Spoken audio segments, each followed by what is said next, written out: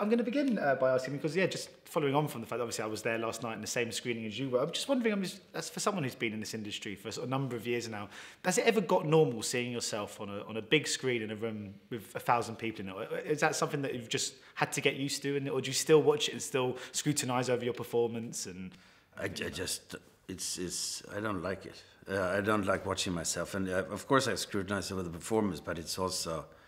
Uh, I don't want to be exposed like that. Yeah. it's very embarrassing. But I guess in some ways it must be easier to watch a film like this because obviously it, you're, you're, it's sort of a lot of it is set in kind of flashback. So I guess for, for half for half the movie, I guess you're able to sort of sit back and enjoy it, perhaps like I would. Yeah, yeah. yeah. I enjoy the flashbacks very, very much. and, and, of course, working with Hans again. I mean, it, it, I wonder what it is about him as a filmmaker that, that lured you back in. And just secondly, the, that kind of shorthand that's developed. I mean, obviously you are someone who's done a lots of collaborations with, with filmmakers before. Obviously, Lars von Trier sort of springs to mind. Um, it must just create such a nice atmosphere on set when you you go on set and you know what they want from you and you know what you want from them. Exactly, and I also know what he's good at and what he's bad at, and he knows what I'm good at and what I'm bad at, and uh, uh, but and we have we have similar taste, but we also we are different enough to sort of trigger each other and challenge each other. Uh, but it but it is it's it's the the wonderful thing is it creates a, a sense of safety, which means that you can be much much braver. And I was wondering too, I think when it was introduced yesterday, they said this is a sort of co-production between Norway, Sweden and Denmark. And it, you get that quite a lot in Scandinavia. You get these kind of films where the, the kind of nations come together to sort of co-produce a movie, more so than I'd say you do get in any other parts of Europe. But what do you think it is about Scandinavia as a kind of area? Is it, but that has that kind of sense of, of real unity. I mean, more so than in many parts of Europe, you have this kind of little section of it where everyone is feels very intertwined in, in a good way.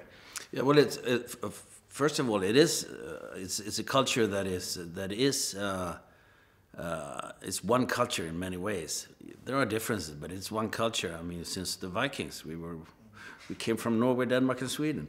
Uh, but but it's but it's also uh, it's necessary because it's I mean it's like what is it like 18 million people in three countries. It's like London. so, so you have to get together to be able to finance films. And in regards to this performance, it's quite an internalized uh, display. Uh, do you find that kind of harder or easier when you're, you're, you're left with a character who doesn't have to say very much, but obviously there's a lot going on in their mind? I, I re- well, several of the films I've done with Hans Petter, I've had little to say, and I really like that. I enjoy that because, uh, to me, uh, what I love about cinema is that it's not a literally a literal uh, art form. It's not like theater, which is basically spoken literature. Uh, and it's it's everything is what happens between the lines. So so so I like that. It's it's not easier to to work without lines. It's uh, harder in some ways, but it's also also you don't have to learn lines, which is fantastic. And I've never liked doing homework. So. because the character's almost quite nostalgic and very reflective. I was wondering if you're quite similar to that in, in real life, and also what you do uh, to relax. Because obviously your character likes going for nice dog walks and reading a book. And I was wondering how you wind down at the end of the night. I cook and I read books. That's what I how I wind down. But I'm not very nostalgic or. I don't think I don't dwell much on the past. I'm uh, I, I have eight kids and I still have small children, so you really have to be present. So the, when I get old, I'll deal with the past. it's weird, isn't it, for you? Because I guess a lot of your past is on screen. It's available to us. So, I mean, if you wanted to look back over your past, you've got this kind of wealth of movies to do so. yeah, I'd rather not watch myself. So.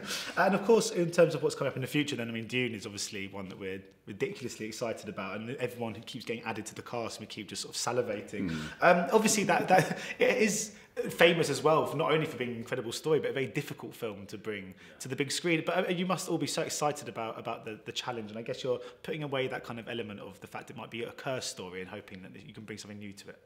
Yeah, I don't think about any curses or anything. I, I'm just very happy to be able to work with Denis Villeneuve. So, and I think if if anybody can do it well, he will be the man to do it.